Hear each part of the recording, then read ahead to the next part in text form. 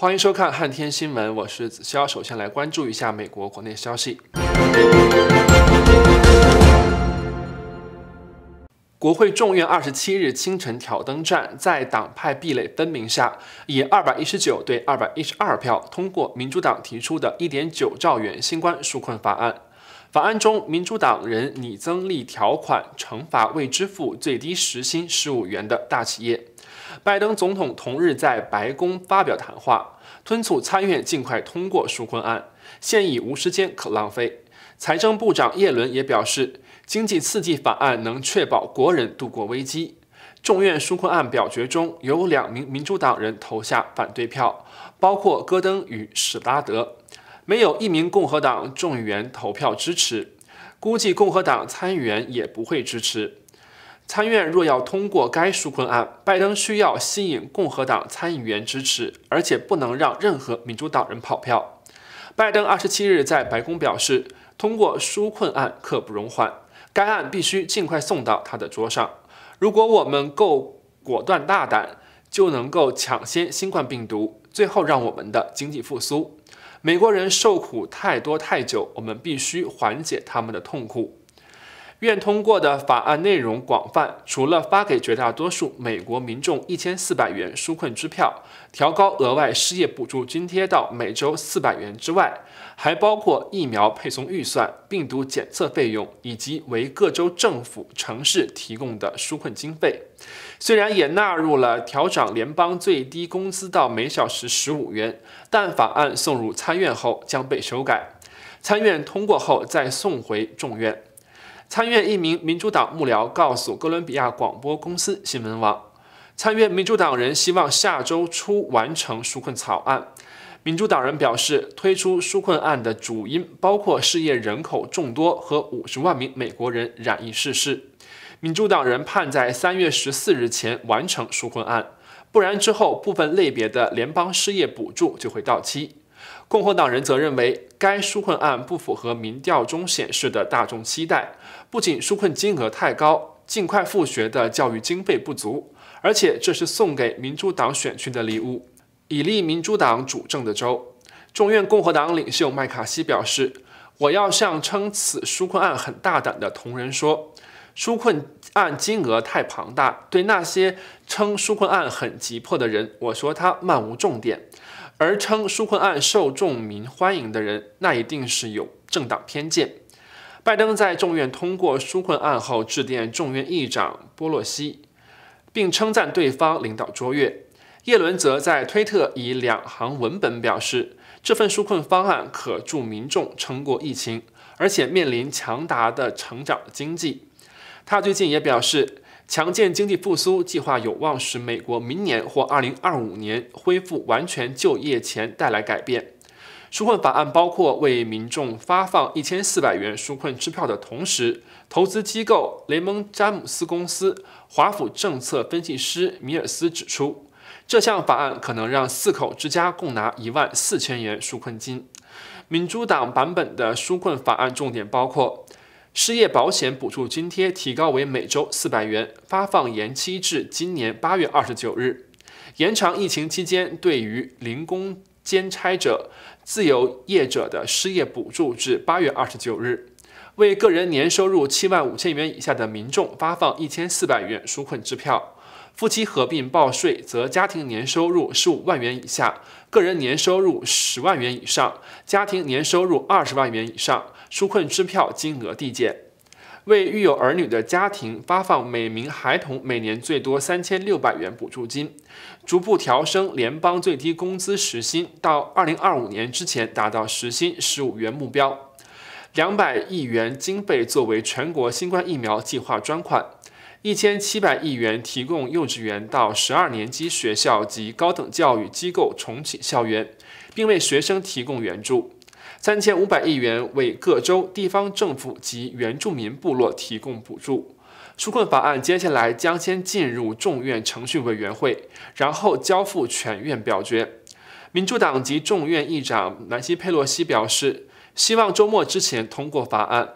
民主党方面指出，纾困法案将能够让疫苗配送流程变得更有效率，也能协助目前正在领取失业救济的全美一千八百万余民众。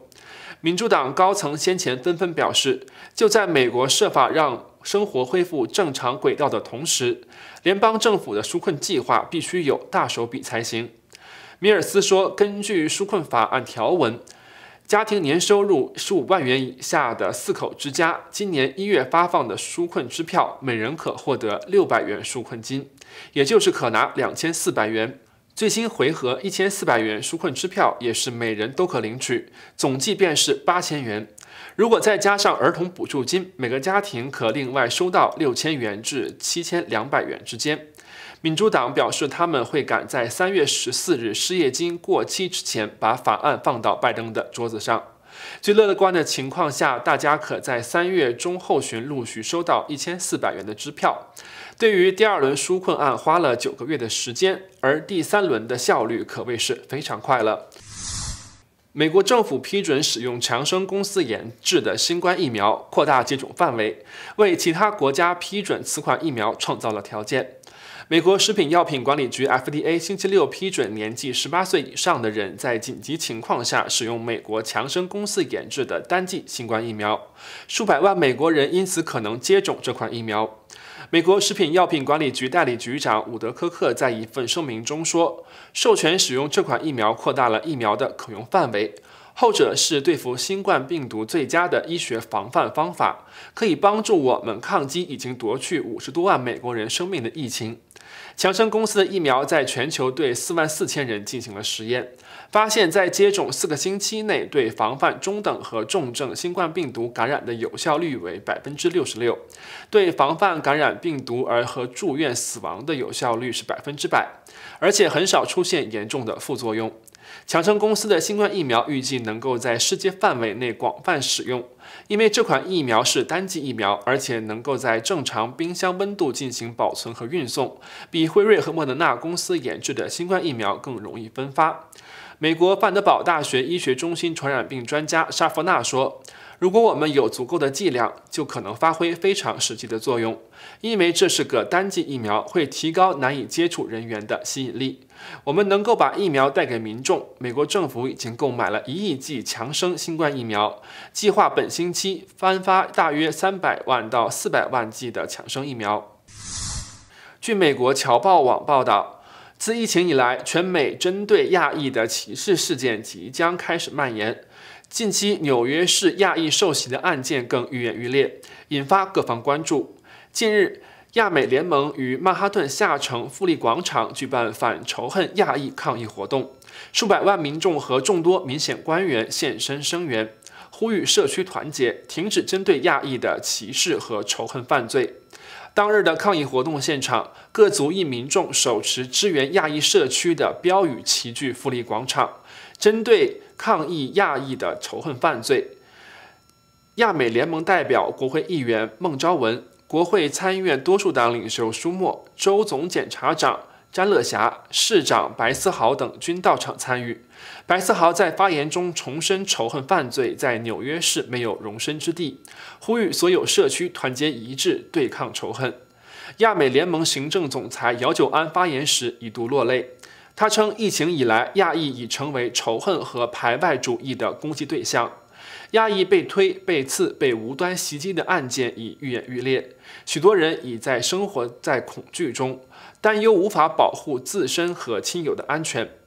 孟昭文指出，亚裔自疫情爆发以来，除了对抗共同的新冠病毒，还要针对对抗亚裔的歧视和仇恨。亚裔长久以来都习惯被无视，但现在必须要勇敢站出来发声。亚裔也是美国人。